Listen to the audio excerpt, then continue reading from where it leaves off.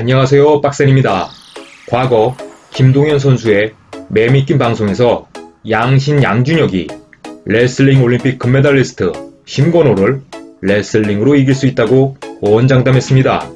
야구 선수가 레슬링 선수를 레슬링으로 이긴다고? 그것도 그랜드슬램 챔피언을? 물론 유튜브 홍보 차원에서 내뱉은 미끼성 발언일 수 있지만 양준혁이 체격이 왜소한 심건호를 약간 깔보는 듯한 발언을 하자 심건호는 웃고 김동현은 체급 문제를 꼬집었습니다. 그후 심건호가 양준혁에게 자신이 양준혁의 목을 잡고 돌리면 바로 기절한다고 팩트를 달렸습니다. 양준혁이 제일 맏형이었기 때문에 심건호는 억지로 웃었고 말도 최대한 공손하게 했지만 사실 속으로는 바로 당모가지 접어 돌리듯 양준혁의 모가지를 비틀어버리고 싶었을 겁니다.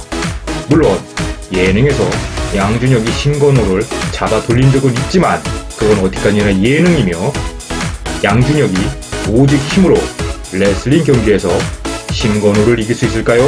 신건호는 레슬링 은퇴 후 재치 있는 입담으로 예능에서 두각을 드러냈습니다.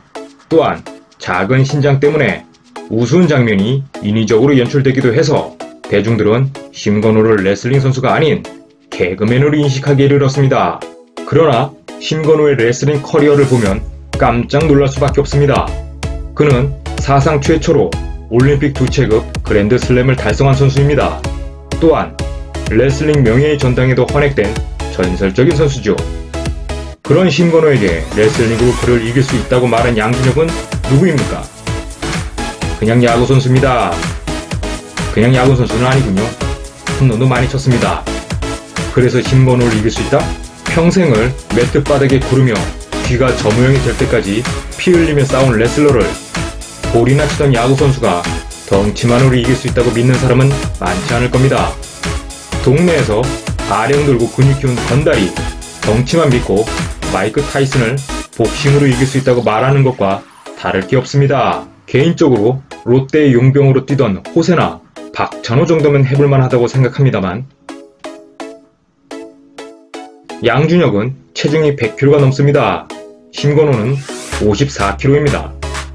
어른과 어린아이의 싸움 같기도 하지만 레슬링은 힘과 덩치만으로 하는 경기가 아니라 기술이 중심이 되는 스포츠입니다.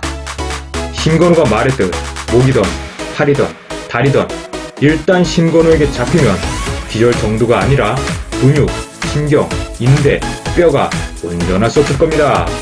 개인적으로 양준혁이 심건호에게 모가지가 잡혀 기절하는 모습을 꼭 한번 볼 날이 있으면 좋겠습니다. 인터넷 검색해보니까 양준혁 자는 사진이 많이 나오던데 누가 이미 한번 잡아 돌리셨나? 오늘의 영상은 여기까지입니다. 구독, 좋아요는 강제 조항입니다. 그럼 아디오스!